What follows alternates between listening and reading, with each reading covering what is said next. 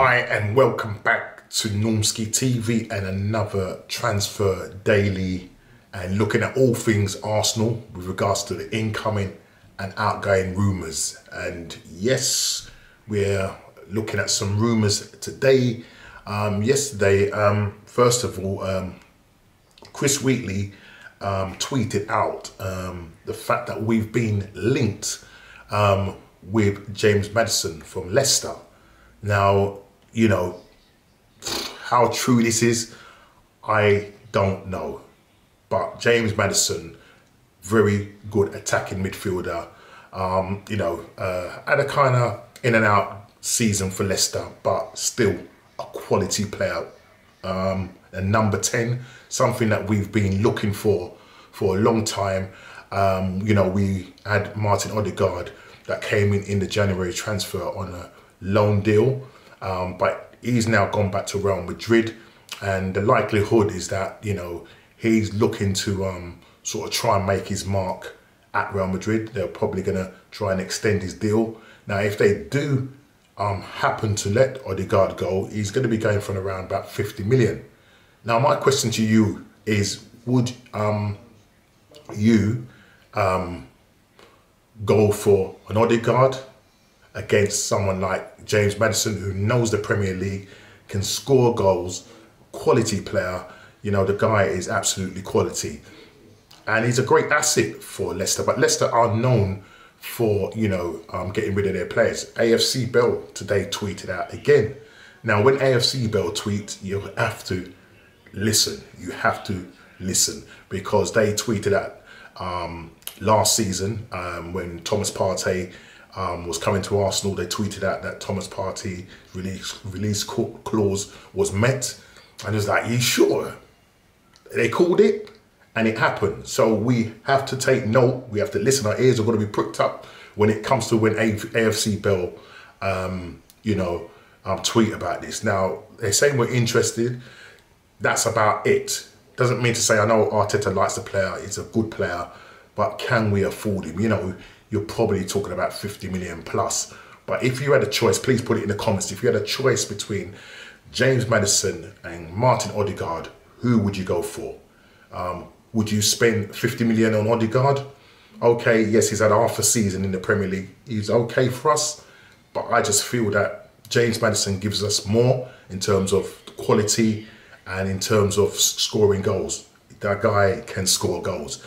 And Leicester are known for letting go of their, you know, quality players. Um, you only got to look look like Harry Maguire. Yes, Harry Maguire. You know, Kante, Mahrez. You know, number of players that they have let go, uh, but they always seem to um, find a player to replace them with. Is there a chance that Leicester could let go of James Maddison? I'm also hearing rumours that he's not seen eye to eye with Brendan Rodgers. Could that be something positive for Arsenal? It is a lot of money. Will Arsenal be able to kind of stump up that kind of money? The thing is, is that how much money have Arsenal got in terms of transfers?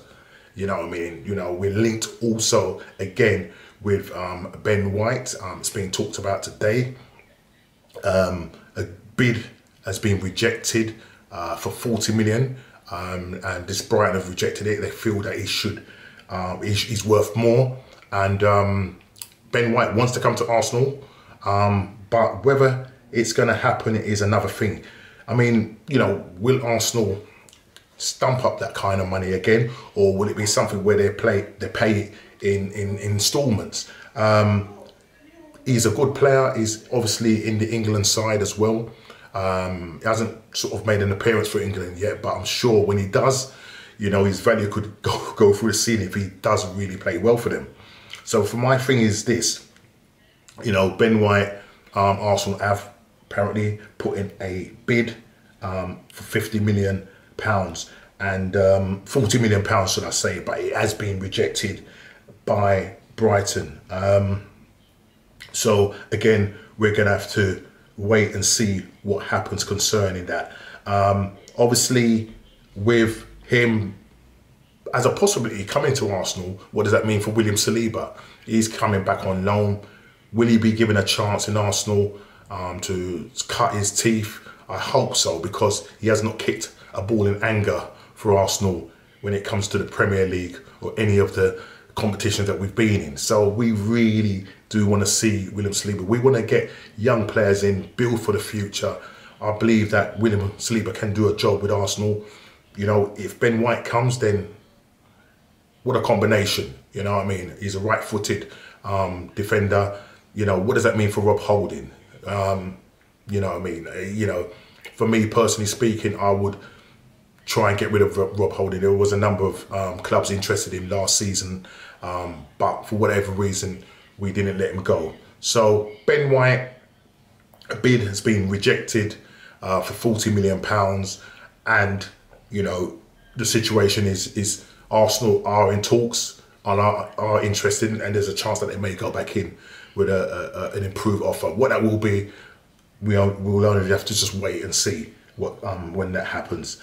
Um, so there you have it. Um, so we, we've got um, James Maddison We linked with um, AFC Bell have retweeted this out, and obviously we've had a bid rejected uh, for Ben White, the Brighton defender.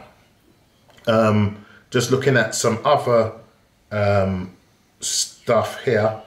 Uh, he, he might as well forget it, Arsenal, because we can't offer him that.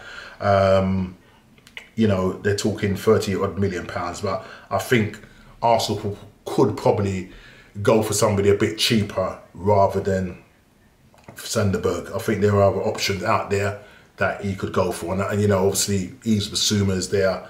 You know, he, you know, someone that Arsenal are, are, are, looking at from Brighton.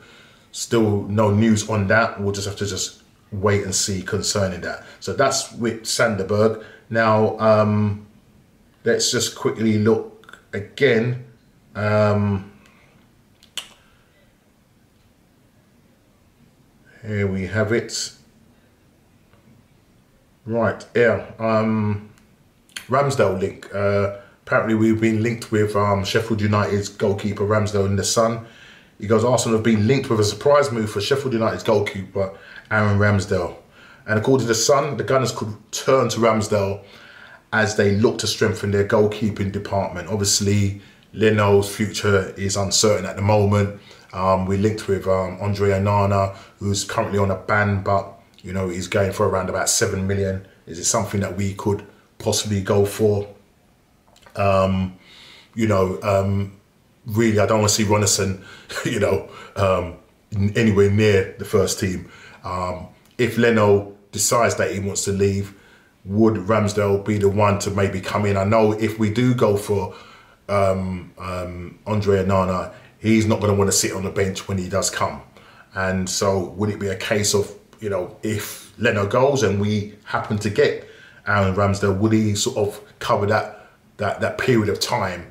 Um, you know, if um, Onana comes to Arsenal and will start playing, I think it's November um, of this year that he will start playing. So we'll have to again watch this space. But the Sun, as I said, um, saying that the Gunners have, uh, you know, turned their attention to to Ramsdale, and um, you know the Sheffield United who now you know, back in the championship, said they want around 20 million for the goalkeeper, um, who's recently been called up to England, replacing the injured Dean Henderson in the Euro 2020 squad.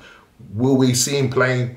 We'll have to just wait and see. But at the moment, Dean Henderson looks like he's one of them. Um, well, he's one of the guys. I think he'll probably be third behind him because you, you, you, you've got um, the goalkeeper, the Everton goalkeeper that's there.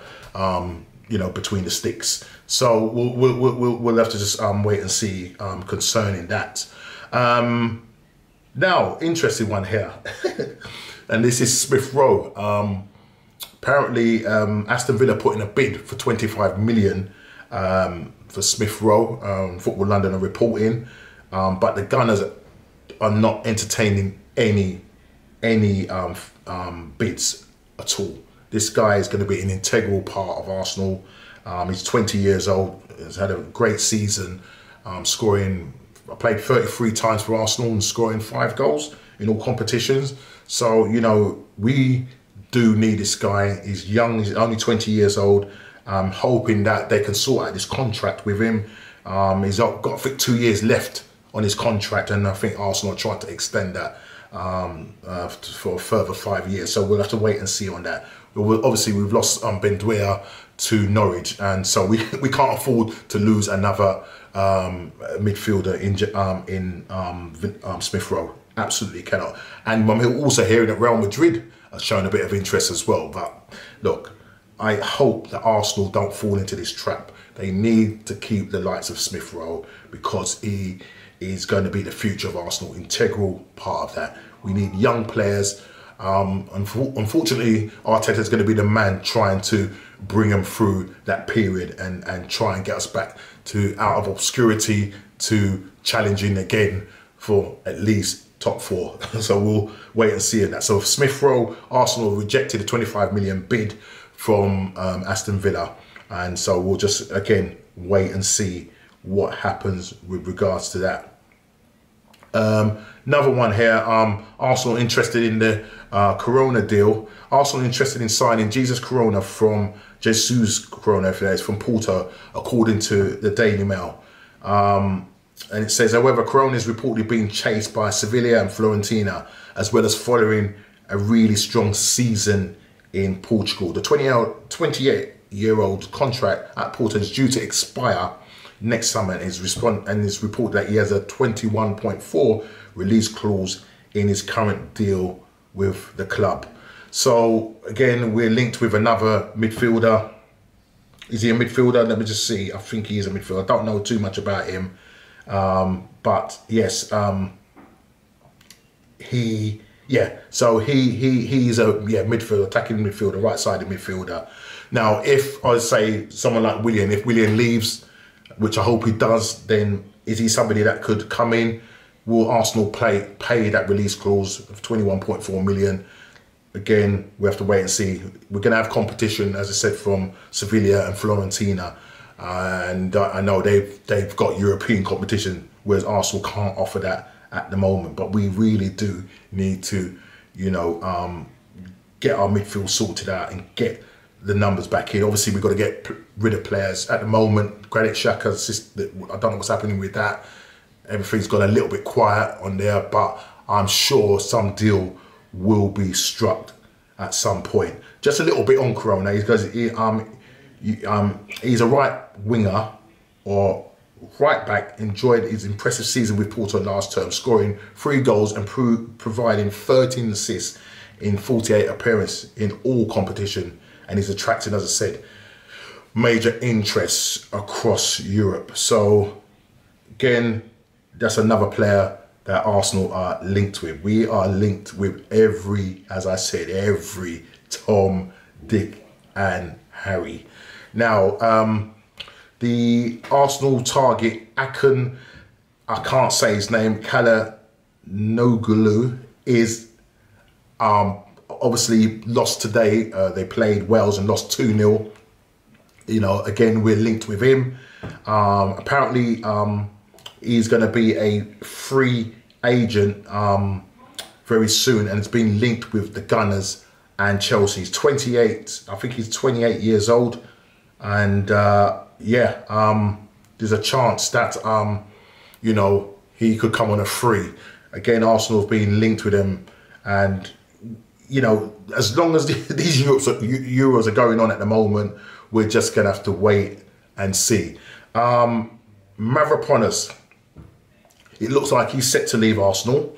Um, you know, he's close to completing a seven million permanent move to Stuttgart Again, this is reported by Football London.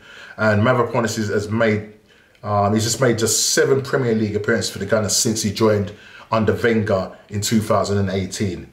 Um, a source has also confirmed um, that Arsenal have as I said, this is in response to that. Uh, I'm going back to the the the, um, the Ben White thing. So this is all sort of part of the same article that we've we've we've put in a bid for 40 million, and obviously we rejected it. But with the Mavropanos thing, it looks like he's going to leave and we'll be getting something like 7 million. He did have a good season when he was on loan. Um, and I said, if we are going for Ben White, then it looks like he's going to be right down the pecking order. Um, so, you know, we're going to wait and see concerning that deal. As I said, because the Euros are going on, things are not going to really take off yet until, you know, probably mid July when the actual Euros are finished.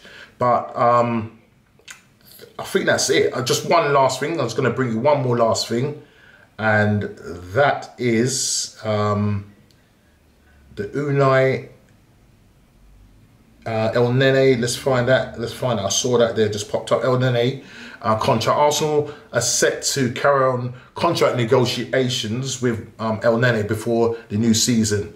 Um, Football London has learned. Talks between the Gunners and Elneny came to a temporary halt in April, but they are set to resume once again this summer, with Edu looking to protect the value of the midfielder with just 12 months remaining on the existing deal. Now, the interesting thing here is if they are going to extend his contract, they're trying to protect it, it, maybe there's a chance that, you know, he's a good squad player, but maybe if there's a club that's interested in and going to come in for the right money, if he's got an extension on his contract, then maybe we can get half decent. He, he had an okay season with Arsenal, and we could. I don't know what sort of price he would go for, but um, I'm sure if we did sell him, we could get around about 10, maybe 15 million for him. Um, so there's another potential outgoing, but he could obviously stay um, and be a mainstay in Arsenal, but he would just be, uh, you know, a squad player. Um, and I think that will be really it at the moment. So other than that, there's not really any more news to report uh, apart from just one thing, and that's the fixtures. They've just come out, and uh, Arsenal have got a pretty tough start um, to life um, in the Premier League. Um, it is a very tough start for us, and uh, our first game um, away is to Brentford on the 14th of August, uh, a three o'clock kickoff. Um, away to Brentford, newly promoted club. You know, they've got Ivan Toney, you know, banging in the goals. And, they, you know, it's their new stadium. It's going to be banging. You know, fans are going to be back, hopefully. And they're going to look to impress. And I'm sure they're going to be a, be a lot tougher than when we played Fulham away. Obviously, they didn't have fans then. But they're going to probably be a harder proposition. I want to probably talk about this in another uh, maybe what's going on podcast with Kofi and hopefully maybe try and link David, who's all the way in Dubai. And so we'll see what happens if time is time um, span um, commits him basically. Um, now um, after that we are, we've got a home game against Chelsea. Then we're going to be away to Man City. So we've got three tough games, three tough games. And the thing about it is we cannot afford to come off to a bad start. Now, we haven't got a lot of players in terms of, you know, playing in the Euros and that. So a lot of our players are going to be fresh. Um, you know, Chelsea have got a lot of uh, players playing for England. You know, they're going to be playing, you know, the, the, World Cup. They're going to be playing the Super Cup. So there's going to be a lot of things that they're going to be doing. Um, Man City obviously got a number of players um, away on international duty as well. So you never know. First three games, still it's going to be tough. We're up against Pep's side, third game of the season, and then we have a um, uh, fourth game at home to Norwich City on the 11th of September, and then Burnley away. I'm not going to go too much, and I, I will say one thing: we do have our first or second London most important derby, and that will be the 25th of September um, on. Uh, 21, 25th of September at, at uh, 3 o'clock kickoff. 3 o'clock kickoff. Mm, okay. And that will be, I mean, unless these things change, I don't know if that's on a Saturday, I'll have to check the date, 25th of September. But we're at home against the mighty Jokers. Right, that's what it is, the mighty Jokers, Spurs.